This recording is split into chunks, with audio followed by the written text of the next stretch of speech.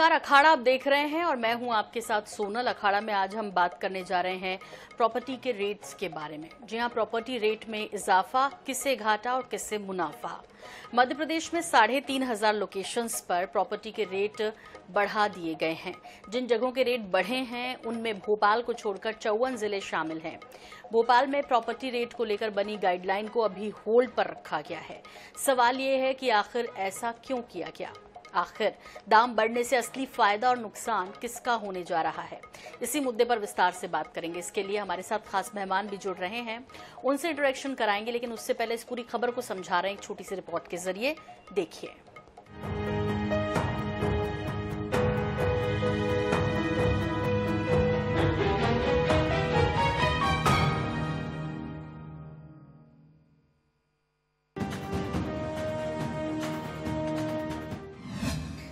MP के चौपन जिलों में प्रॉपर्टी महँगी। सिर्फ़ भोपाल में कलेक्टर गाइडलाइन अटकी। सांसद विधायक के विरोध के बाद फैसला टाला। आखिर दाम बढ़ाने से किसको नफा, किसको घाटा? भोपाल में 243 जगहों पर प्रॉपर्टी रेट बढ़ाने को लेकर कलेक्टर की नई गाइडलाइन पर फ़िलहाल रोक लगा दी गई है। इसमें प्रॉपर्टी के रेट में 5 से 100 फ़ीसदी तक बढ़ोतरी का प्रस्ताव था। इसको लेकर केंद्रीय मूल्यांकन कमेटी की बैठक होनी थी। लेकिन इससे पहले बुधवार सुबह भोपाल सांसद आलोक शर्मा ने वित्त मंत्री जगदीश देवड़ा से मुलाकात की। उन्होंने कहा कि दाम बढ़ाने से पहले जन प्रतिनिधियों से चर्चा ज़रूरी है। विधायक भोपाल दक्षिण पश्चिम भगवान दास सबनानी ने भी प्रॉपर्टी की कीमतें नहीं बढ़ाने की मांग की। इधर क्रेडाई सदस्य भी वित्त मंत्री से मिलने पहुँच गए। हालात को देखते हुए वित्त मंत्री ने प्रमुख सचिव वाणिज्यिक कर महानिरीक्षक पंजीयन और भोपाल कलेक्टर को निर्देश दिए कि वे जनप्रतिनिधि और क्रेडाई से बातचीत कर पहले समाधान निकालें। भोपाल में मध्य प्रदेश के अन्य शहरों की तुलना में या देश के अन्य शहरों की तुलना में अगर यह प्रॉपर्टी ज़्यादा महँगी है तो उसको लेकर के यहाँ का मामला प्रभावित होगा।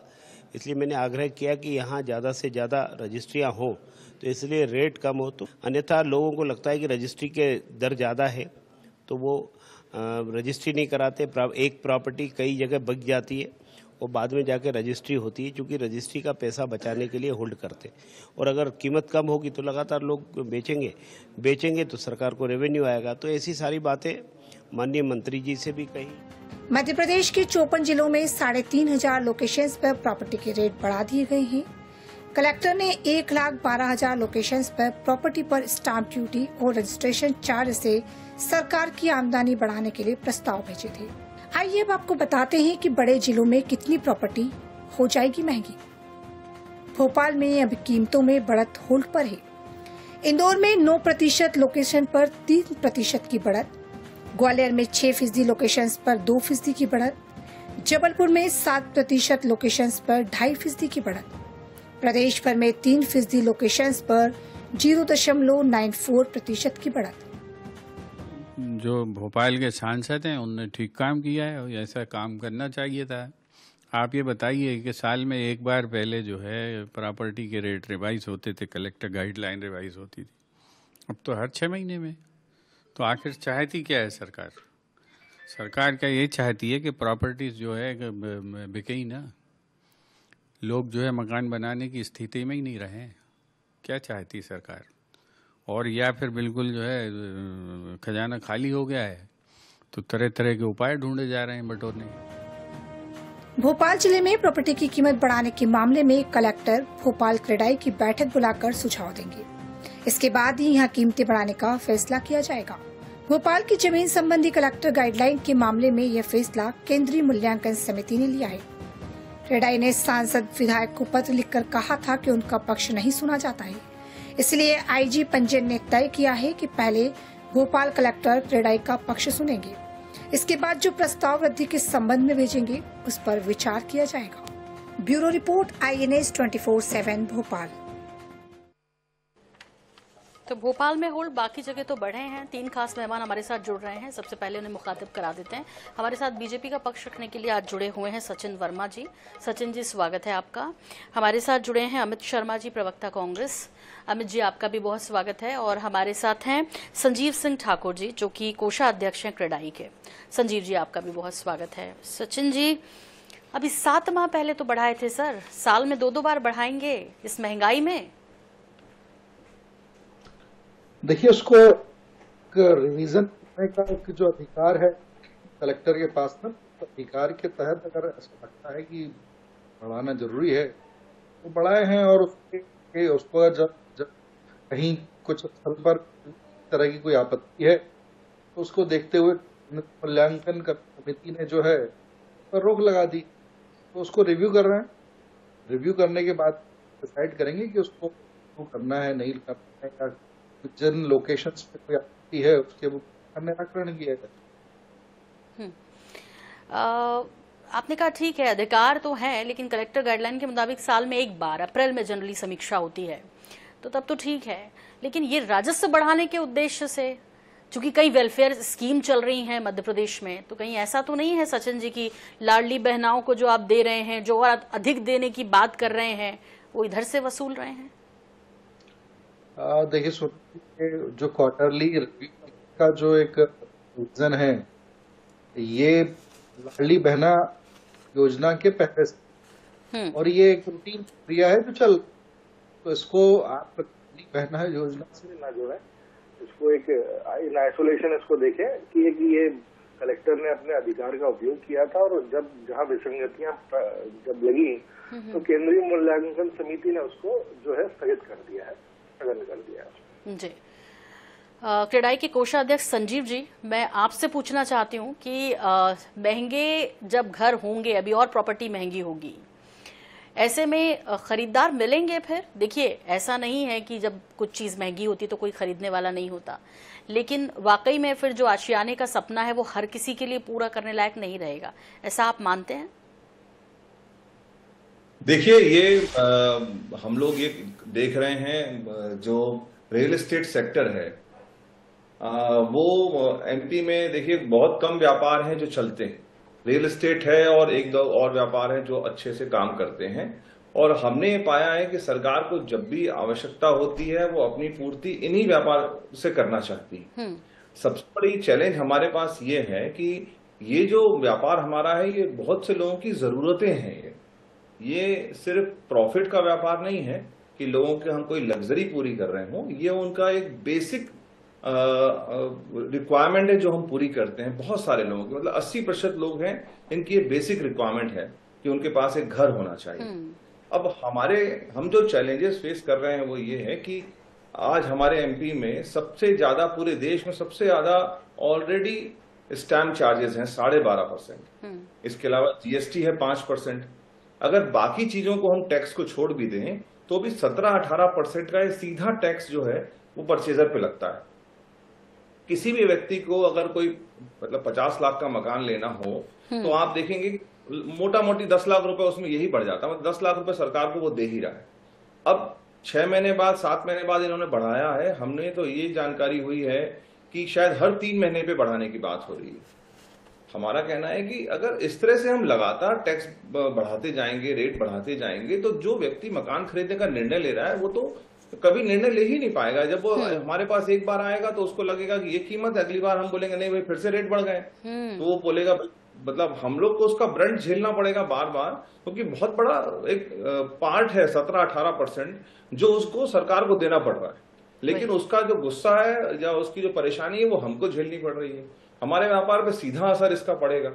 हमारा ये कहना है कि हम तो इससे आगे कहना चाहते हैं। सरकार को रेवेन्यू बढ़ाना है और बिल्कुल बढ़ाना चाहिए। सरकार एक वेलफेयर स्टेट है उस पर उसको काम भी करना चाहिए।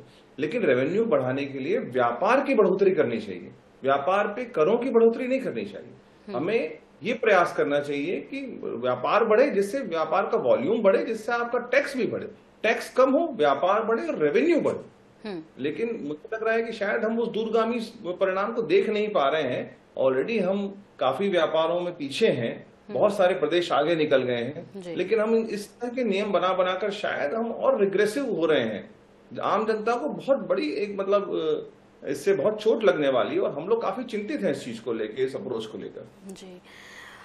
संजीव जी एक चीज़ और समझनी है। आपने बाकी प्रदेशों की बात की तो क्या देश के बाकी राज्यों में इसी तरह क्वार्टरली या अ, साल में दो बार ऐसे दाम बढ़ते हैं क्या? देखिए कुछ और भी ऐसे राज्य हैं? ये बात सुनना कि अ, साल में दो बार या चार बार हम प्रॉपर्टीज़ के रेट बढ़ाएँ। मतलब ऐसा तो कभी नहीं होता।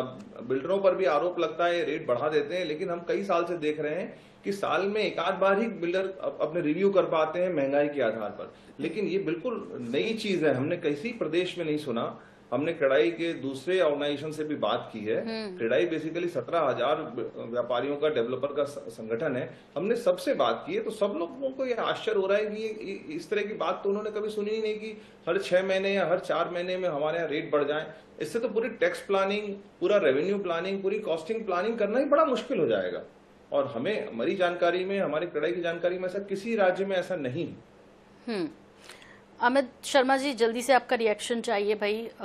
यहाँ तो भोपाल की यदि बात करें तो यहाँ खुद बीजेपी की सरकार है वहीं के कुछ लोगों ने इस पर आपत्ति जता दी और इस पर इसे होल्ड करने की बात कह दी होल्ड हो भी गया। अमित शर्मा जी और उनकी पार्टी क्या रिएक्शन है इस पर आपका? सोनल जी मुझे आपकी आवाज़ सुनाई नहीं दे रही। जी। मैं एक बार फिर से कोशिश कर कर रहे हैं सर आपको जोड़ने की। मैं अपनी टीम से कहूँगी कि दोबारा से आपको कॉल करें। तब तक मैं सचिन जी का रुख कर लेती हूँ। सचिन जी अभी आपने संजीव जी की बात सुनी। सर कितना एग्री कर रहे हैं?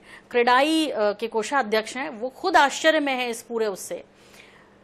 सर मतलब मध्य प्रदेश वासियों का तो सोचना होगा ना जो लोग घर देखना लेना चाहते हैं उनके बारे में भी तो सोचना होगा राजस्व वृद्धि के साथ साथ नहीं संजीव जी ने जो भी जितना भी बोला है वो बहुत सही जो है उनका सोच है। लेकिन सरकार को तो एक जो गाइडलाइंस को एक रिव्यू करने का और रिविजन का भी जो एक अधिकार है जो कलेक्टर गाइडलाइंस बनती है तो उसके भी रीजन होते हैं अगर तो प्रॉपर्टी के जो रेट्स अगर बढ़ गए हैं और अगर उसकी को मैच नहीं किया जाएगा तो गवर्नमेंट का भी तो रेवेन्यू लॉस होगा। उसके अंदर तो है दोनों के साथ एक को सिंक्रोनाइज करना एक आवश्यकता है आज के समय की। और उसके इसीलिए प्रतिनिधि हैं। उन्होंने भी के जो स्टैंड है, उसको किया है और इसीलिए उसको हो दिया गया। तो हम कहीं क्रेडाई और जो है सरकार कहीं सेम पेज पे ही है और हम पेज पे रहकर एक सॉल्यूशन कि हम जैसे क्रेडाई का भी स्टैंड है, उसको भी एक, उसको भी हमने सही मानते हुए उसको इसीलिए उसको स्टे किया है होल्ड किया है कि हम के साथ में एक व्यापक रूप से चर्चा कर लें और इसके संबंध में एक जो है, एक निर्णय तो उसी प्रोसेस में अभी सोनल जी जी सचिन जी लेकिन क्या हुआ? जैसे विधायक प्रतिनिधियों से आलोक शर्मा जी मिले उन्होंने कहा कि हमसे तो कम से कम चर्चा कीजिए भाई। सही बात है उनको भी कॉन्फिडेंस में नहीं लिया। सचिन जी थोड़ा एक समझना है चीज़ कि जब कमलनाथ जी की सरकार थी तो कमलनाथ जी ने 10 प्रतिशत तक रेट घटा घटा दिए थे। सर इसी मध्य प्रदेश में रेट घटाए थे उन्होंने। ये कैसे हो पाया? अब महँगाई बढ़ रही है और बाकी चीज़ों का आप हवाला दे रहे हैं तो वो कैसे कर पाए थे? देखिए अब वो कैसे पाए थे? ये अपने आप एक, जो कमलनाथ सरकार निर्णय है, बारे में करना ठीक है बट अब उन्होंने तो क्या है कि सर गवर्नमेंट ने एक बिज़नेस का एक अलग मॉडल लेके आ गए थे ट्रांसफ़र को ही इंडस्ट्री में कन्वर्ट कर दिया था। तो वो उन्होंने ट्रांसफ़र की जो पॉलिसी थी, कि वो दिन में ट्रांसफ़र करते थे एक ऑफिसर का तो उनकी एक अपनी एक प्रक्रिया एक अलग थी और दो कल्याणकारी राज्य भाजपा की अगर सरकार चल रही है। हम सर ठीक है लोग कल्याणकारी इस हाथ से दे रहे हैं दूसरे हाथ से जेबें खाली कर रहे हैं ऐसे कैसे चलेगा सर? संजीव जी मैं आऊँगी आपके पास लेकिन उससे पहले अमित जी आप मेरी आवाज़ सुन पा रहे हैं।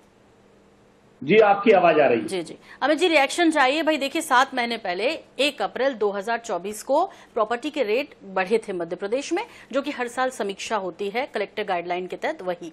अभी फिर से नवंबर में एक आदेश आया ऐसा, लेकिन अभी होल्ड पर है, लेकिन इन सबके बीच संजीव जी कह रहे हैं कि वो तो क्वार्टरली तक बढ़ने की सुन रहे हैं। सचिन जी ने भी कुछ इसी तरफ़ इशारा किया। आपका रिएक्शन देखिए सोनम जी हम राजनीति से परे हट के एक भोपाल के आम नागरिक के नाते बात करें तो आप देखेंगे कि इन 20 वर्षों में लगातार जिस तरीके से प्रॉपर्टी के दाम बढ़ाए गए ऐसा प्रतीत हुआ कि कहीं ना कहीं आदमी समृद्धि बढ़ी विकास बढ़ा और क्षेत्रफल की जो सीमा है उसको विकसित करने की मंशा शायद सरकार की होगी। लेकिन 20 वर्ष से हम मास्टर प्लान का इंतज़ार कर रहे हैं। और खेतों में कॉलोनी सरेआम नाक के नीचे बिल्डर हो डेवलपर हो और सरकार की नाक के नीचे लोगों को सस्ते दामों में गुमराह कर कर प्लॉट दे दिए जाते हैं। उसके बाद विकास के नाम पर ज़ीरो होता है कोई देखने वाला नहीं होता। फिर आवाज़ नाली की उठती है ज़मीन की उठती है सड़क की उठती है। हम्म। और कई बार एक गुब्बारे की तरह प्रॉपर्टी को भुलाकर जिसकी मूल प्रॉपर्टी की कीमत शासकीय उसमें चंद होती है लेकिन वो बिकते बिकते उसमें लाखों और करोड़ों रुपए में हो जाती है इस तरह की घटना में सम्मिलित कहीं ना कहीं नौकरशाही मैं सीधा आरोप लगाऊँगा हम्म। कहीं ना कहीं राजनीतिक तंत्र जिसके सहारे पर सरकार के सहारे पर नाक के नीचे और इस तरह से व्यापारिक इस तरह से भूमाफिया अभी होते उनके एक फोकस से ये अधिकारियों के माध्यम से कलेक्टेड गाइडलाइन लगातार मध्य प्रदेश की सरकार में बढ़ रही है विकास के नाम पर विकसित नहीं हो रहा। आज भी लोग टैक्स की गाड़ी कमाई दे रहे हैं। तो क्रेडाई के कोषाध्यक्ष बैठे आप पूछिए कि इनके मकान कितने लोग लेने आ रहे हैं? हम्म। प्रधानमंत्री योजना के तहत जो मकान देने थे जो मुख्यमंत्री योजना के तहत जो गरीबों को मकान देने थे वो कहीं ना कहीं मकान देने की तो बात करी जा रही है। लेकिन आज वो मकान ब्याज सहित साढ़े चार पाँच लाख में पड़ रहा है। तो हम किस गरीब की बात कर रहे हैं? किन योजनाओं को बढ़ाने की बात कर रहे हैं। मैं समझता हूँ कि अभी कम से कम तीन साल लगातार कलेक्टेड गाइडलाइन पर रोक लगनी चाहिए धरातल पर सीमांकन और मूल्यांकन होना चाहिए प्रॉपर्टी का। आप कहा तीन साल की बात कर रहे हैं सर? वो तो तीन महीने में ही बढ़ाने की बात कर रहे हैं। आप कहा तीन साल अमित जी उनके उनके यहाँ से उनके अपने ही लोगों ने आवाज़ उठाई इसे रुकवाया। आप क्या कर रहे हैं सर? आपको तो विरोध करना चाहिए विपक्ष में है कर रहे हैं और किस तरह कर रहे हैं? क्या प्लानिंग है इस पर? आपने कहा कि 20 साल से प्रॉपर्टी के रेट बढ़े। मध्य प्रदेश में नहीं बढ़े पूरे देश में बढ़े सर। लेकिन आपने क्या किया? धन्यवाद करना चाहता हूँ। मैं वो शख्स हूँ कि जो भोपाल नगर निगम में कई बार पार्षद रहा और आज जो आलोक शर्मा जी का मैं भले ही वो राजनीतिक दल दूसरा है लेकिन वाकई में पूरे शहर में इस बात की तारीफ़ हो रही है कि सांसद ने सही बात का पहल करी। ये हम्म। वही आलोक शर्मा है जो भोपाल की जनता ने इन्हें महापौर चुना था। और सर्वसम्मति से इस कलेक्टेड गाइडलाइन जब पहले बढ़ रही थी उस पर परिषद ने आवाज़ उठाई। कलेक्टर और मुख्यमंत्री को परिषद से प्रस्ताव पास कर कर सरकार के पास भेजा। लेकिन बड़े शर्म आती है। शायद हो सकता है कि उस समय आलोक शर्मा जी कमज़ोर हो लेकिन अधिकारियों द्वारा उस प्रस्ताव को निरस्त कर दिया गया। हम्म। संपत्ति करके जल दर के और तमाम प्रॉपर्टियों का प्रस्ताव जिला कलेक्ट्रेट कार्यालय को भेज दिया गया जिससे वो मूल्यांकन हुआ लेकिन जनप्रतिनिधि धुरनारायण सिंह उस टाइम थे बीजेपी के और आरिफ अकील साहब कांग्रेस के आज हमारे बीच मौजूद नहीं है उन्होंने इस बात की खिलाफत करी सरकार पर आवाज़ उठाई और हम्म। कांग्रेस ने इस बात पर सड़क पर कई बार आंदोलन करा हम्म। चाहे वो मास्टर प्लान को लेकर हो और चाहे वो रेट की बढ़ोतरी को लेकर हो हम्म। लेकिन सरकार में भूमाफिया के दम पर बैठे हुए कुछ कॉकस लोग इसमें मनमानी की तरह रेट बढ़ाते गए और महँगाई दर पे दर बढ़ती गई, लेकिन फ्लैट एक आम आदमी की सीमा से ऊपर होता गया। ठीक है, अमित जी, लेकिन अब मैं जब दोबारा आपके पास आऊँगी तो पूछूँगी कि क्या रणनीति रहेगी, अब कैसे इसे रोकने, रोकेंगे आप लोग? कैसे विरोध करेंगे सचिन जी और उनकी पार्टी का? संजीव जी, आपने कहा व्यापार बढ़ाना चाहिए। सचिन जी अपनी मजबूरी बता रहे हैं कि भाई वो तो हमको, हमारे पास अधिकार भी हैं और हम चूँकि राजस्व बढ़ाना है तो कुछ तो करना ही पड़ेगा। लेकिन वो चर्चा आपसे ज़रूर करेंगे, कह रहे हैं, और हो ही रही है क्रेडाई से बातचीत। लेकिन इस सबके बीच संजीव जी, क्या हो सकता है? इसके लिए बीच का रास्ता क्या हो सकता है? सरकार की अपनी मजबूरियाँ हैं, लेकिन लोगों की जेबें भी तो देखनी पड़ेंगी भाई। कितनी खाली करोगे? महँगाई बढ़ रही है। उस हिसाब से यदि आप ये घर का सपना, फिर सपना ही रह जाएगा। सबके बस में तो रहेगा नहीं। कुछ लोगों को छोड़ दिया जाए तो। तो ऐसे में कैसे करेंगे? नुकसान तो सीधे तौर पर उन लोगों को भी होगा जो मकान बना रहे हैं। बिल्कुल। देखिए एक तो मैं ये कहना चाहूँगा कि इस बारे में सरकार ने हमारी सुनी है और भोपाल में जो रोक लगी है, उसका हम स्वागत करते हैं। सरकार हमें इस बार काफ़ी पॉजिटिव दिख रही है कि वो हमसे बात करना चाहती है। सबसे बड़ा चैलेंज ये है कि जो सबसे बड़े स्टेक होल्डर हैं किसी भी व्यापार में उनसे सरकार की बात नहीं होती है। वो हमसे खुल के इस बारे में बात नहीं करते हैं कि आप क्या चाहते हैं।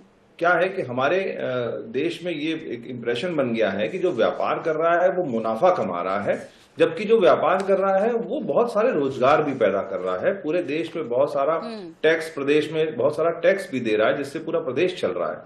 तो हमें ये समझने की ज़रूरत है कि हमको आप एक पार्टी के रूप में देखें, हमें एक इम्पोर्टेंट इंग्रेडिएंट पार्टी के रूप में देखें।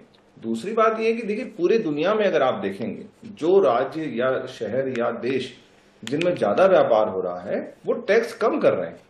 दुबई में ज़ीरो टैक्स पॉलिसी है, सिंगापुर में zero corporate tax zero income tax जो लोग बिज़नेस कर रहे हैं, उनको आप आप ऐसी जेड बनाते हैं, इसीलिए बनाते हैं। हमारे देश में भी ऐसी जेड है गिफ्ट सिटी बनाई गई है, गुजरात में ही है, जहाँ पर टैक्स की पूरी छूट है कि आप वहाँ काम करेंगे तो टैक्स नहीं। तो हमको ये सोचना पड़ेगा कि व्यापार कैसे बढ़ सकता है, हम उनको कैसे सिंगल विंडो दे सकते हैं। आज हमारे रियल एस्टेट में ये स्थिति है कि हम लोग जगह जगह जैसा शर्मा जी ने कहा बहुत सही बात है कि हमारे मास्टर प्लान ही बीस साल से नहीं आया है। हम्म। हम कैसे व्यापार को प्लान कर पाएँगे कैसे बढ़ पाएगा?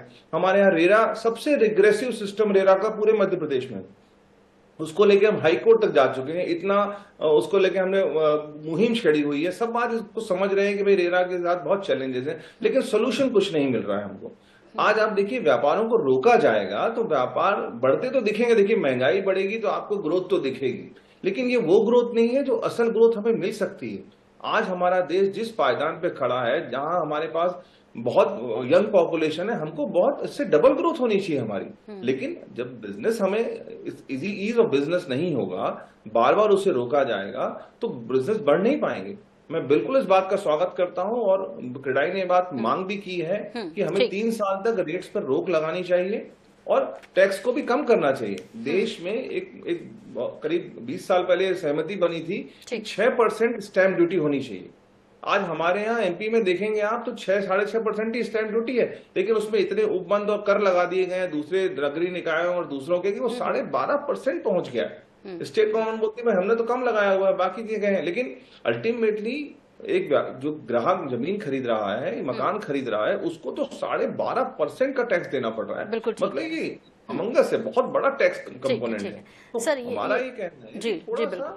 व्यापार के लिए व्यापारोन्मुख नीतियाँ बनाए हाँ। हमको जो हमारे नए नए तरीके तो इस बार अपनाए गए हैं शहरों में जिलों में तक जो है वो व्यापार को बुलाने के लिए और ज़्यादा से ज़्यादा इन्वेस्टमेंट मध्य प्रदेश में बुलाने के लिए बहुत कुछ उपाय किए गए हैं लेकिन वो कितने कारगर होंगे फ़िलहाल तो ये कि अब प्रॉपर्टी के रेट फिर बढ़ने जा रहे हैं लेकिन वक्त मुझे इजाज़त नहीं दे रहा एक लाइन में अमित जी किस तरह विरोध करेंगे कैसे रोकेंगे आप तीन साल कह रहे हैं वो तीन महीने पे जाने वाले हैं।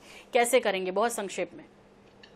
सोनम जी हम अब जनता के बीच जाकर जनता से हस्ताक्षर अभियान चालू करेंगे। हम्म। और आने वाली विधानसभा से पहले और ड्राफ्ट से पहले हर ज़िले के कलेक्टर को और भोपाल के कलेक्टर को हम कमिश्नर को हस्ताक्षर भोपाल की जनता का देंगे जिसमें हम क्रीडाई का भी सपोर्ट चाहेंगे हाँ। जिसमें हम भाजपा के प्रवक्ता का भी सपोर्ट चाहेंगे। हम हर जनप्रतिनिधि को आवेदन देंगे कि वो कम से कम विधानसभा के अंदर और जिला सरकार में इस बात को उठा सके कि आपकी जो स्मार्ट सिटी स्मार्ट सिटी के नाम पर जो। कहीं ना कहीं गुमराह लोगों को किया गया कहीं ना कहीं कलेक्टेड गाइडलाइन से मनमाने तरीके से सचिन जी सारे सवाल आपके लिए चूँकि वक्त मुझे इजाज़त नहीं दे रहा लेकिन हाँ मास्टर प्लान की बात तब तब उठती है जब जब स्मार्ट सिटी की बात होती है।